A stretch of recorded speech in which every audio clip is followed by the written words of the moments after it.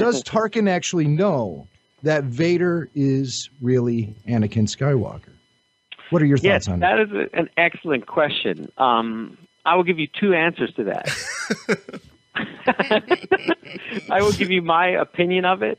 Yeah. Um, I, I will say that it does not represent something that George has told me. I've actually been meaning to ask him that.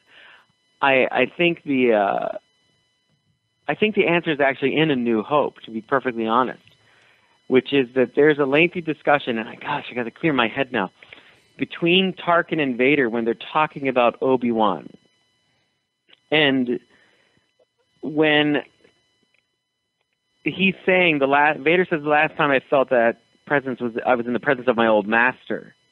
He's referring to Obi Wan Kenobi, obviously, and Tarkin knows the name Obi Wan Kenobi. So it seems to match up that Tarkin would actually know that um, Vader is Anakin Skywalker. Um, I think it might have something to do with their relationship. It also would uh, it would go a long way to explain why Tarkin's so cavalier around Vader and actually tells him what to do. I think that might go beyond just rank. But I, I've never asked George if that's implicitly true or not. So, you know, you guys asking that a lot actually got me quite curious about it. And when he's here, I always forget to ask him. You know, it's one of those things I have to decide when we're talking about the show and editing all this stuff. Hey, by the way, is uh, does Tarkin know? You know, I, I don't often throw those things at him, but it is interesting, and I think he does know. I was trying to run over. You know, I think a majority of people.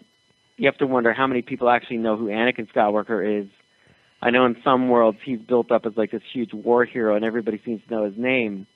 But then, you know, the name Skywalker has been said by George to be as commonplace as the name Smith at times.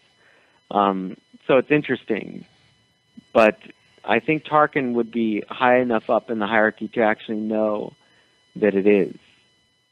So, my opinion is I would think yes. I'm not sure what George's opinion would it be, and I I, I often like to separate those two um, because often I think some people think that what I'm saying is you know, I, I, well, I Dave must have heard it from George, but that's not the case in this. I just like to clarify that when possible. No, thanks for clearing that up. And and really, what what I wanted to know was was your opinion. I, I didn't actually think that this would okay, cool. come up in conversation with George, but if it does.